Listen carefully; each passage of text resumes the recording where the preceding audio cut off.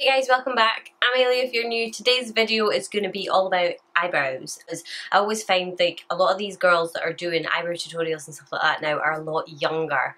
And they they they didn't go through the 90s pencil brow stage.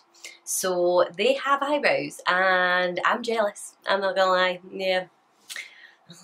Even ones that come into the salon, I'm always like, never tweeze your eyebrows. Like, really cherish them because once you overpluck them, sometimes they just never, ever, ever return. Anyway, so I have been doing like a couple of tips and tricks while I've been trying like learn tips and tricks because when you don't have eyebrow hair, it's really hard to do a natural eyebrow and have it like actually be an eyebrow.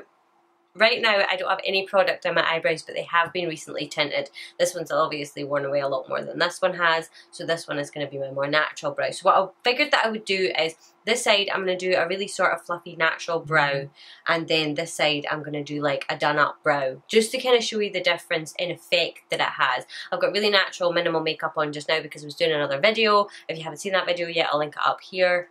Um, about kind of how to deal with really really dry skin or eczema or psoriasis on your face. And so it's like this really natural sort of makeup. I have any eye makeup on so it, it's something that you could actually do if you aren't wearing any makeup but you're like me and if you're not wearing makeup your eyebrows are non-existent and you look a little bit like a mutant so yeah, without further ado, let's go on to doing these eyebrows. These are just the brands that I use. You don't have to use these ones. There's loads of them. You can use Anastasia Dip Brow. You can use the Brow Wiz. You can use Revolution. You can use e.l.f. You can use anything pretty much. So, my main things that I like to use are brow pomades, pencils, and obviously tinted brow gel or non-tinted brow gel of some description. So I said I was going to do this eyebrow the more natural one. So I'm going to do this one first. I'll do it like the way that I would do it if I was going to do a full face of makeup and I wanted like a kind of reasonably heavy eyebrow. So I'm going to comb it out. This is my good eyebrow. As you can see, like, because I've tinted it as well. And the tint that I used for this, I don't have it in front of me, but it's the Revolution Brow Tint. Uh, the peel off one. I use the tattoo Maybelline tattoo, brow tattoo as well. I really like both of them. So that would be like my first tip is use a brow tint get one of these peel off brow tints or go and get your eyebrows done professionally. So I know a lot of people are like underline your uh, bottom of your brow first. I don't like to do that. I just sort of like run through my actual brow first. Just to sort of fill in and start getting that shape. I'm not trying to say that I'm a master at brows. I hate my brows.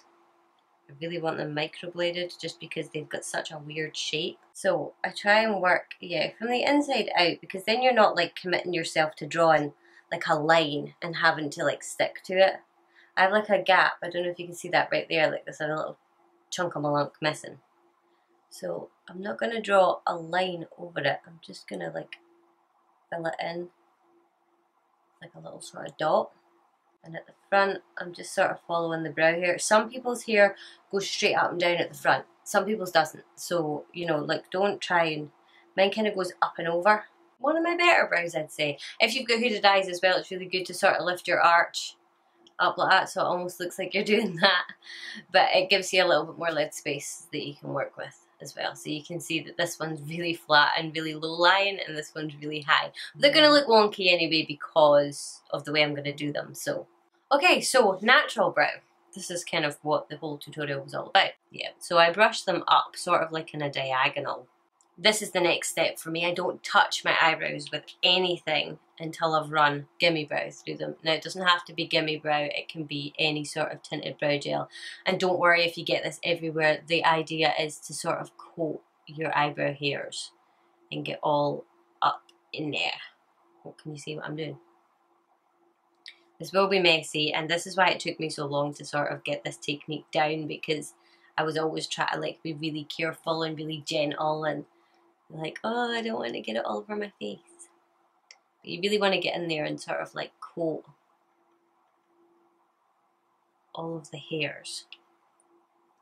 Then I go in with my normal spoolie and I'll go around the edges and just really, really lightly touch it just so that I can take away excess product.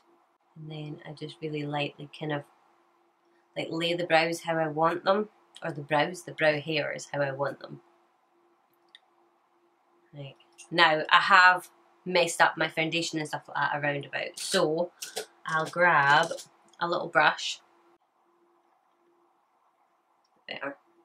Go underneath if you need to as well, and it just sharpens it up a little bit, so it gives the illusion that you've actually spent a lot of time on your eyebrows when you haven't really.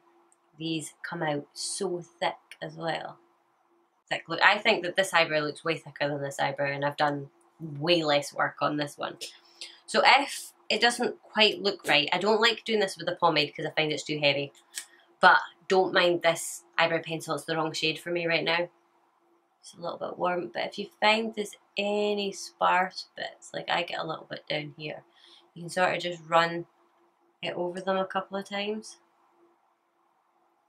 And then if you want to just like sharpen up the tail or anything like that, you can, and I'm talking just like little feather light strokes.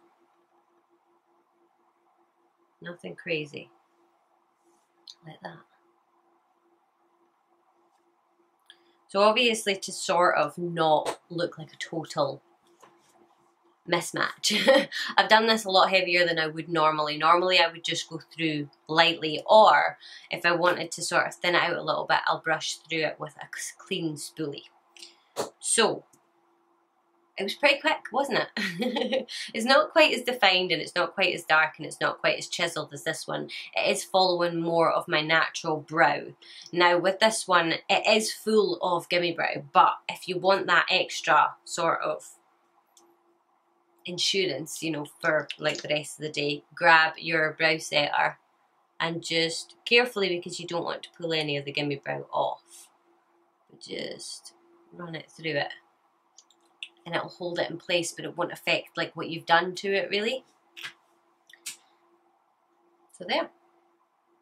That was actually a lot quicker than I thought it was. I, I didn't actually remember that it was that quick to do. So I'm going to zoom you out. So there you go. Which side do you prefer? I'm living for this side right now. So that is my sort of really, really easy brow tutorial all you're doing is really, really, really thickening up your brows and underneath where your brow hairs are, you're getting it with the gimme brow as well. Now, I'm saying that you can use other brow products. I don't, I haven't tried this with like other, I don't think I even have another one just now, with other um, brow mascaras, but I'm pretty sure it would work. It's the same sort of idea. All you're doing is you're just sort of cheating it. It is a more sort of natural look that I would say. This is a lot more chisel. This is the side that I would wear if I was wearing like a kind of heavier makeup. This is the side that I wear generally day to day. Sometimes I'll make it a little bit lighter depending on what foundation or what makeup that I'm wearing. If I'm not wearing any makeup, I'll, I'll just kind of make it a little like a lot lighter than this and brush it out a little bit more. But as you can see you can get pretty much the same effect. And it takes like what 30 seconds to do? It really didn't take that long. So yeah. You're welcome for the easiest brow tutorial in history. I don't know if anybody else has done a tutorial like this. I haven't seen it. I sort of just had to kind of come up with this on my own when my eyebrows were driving me insane. But yeah so I hope all these tips help you. And if they do, then obviously I would love if you would give this video a thumbs up and subscribe to my YouTube channel. I post videos three times a week. Usually it's Monday, Wednesday and Friday, but for the past wee while it's not, but I am trying to get back on track. But apart from that, I will see you guys hopefully in my next video.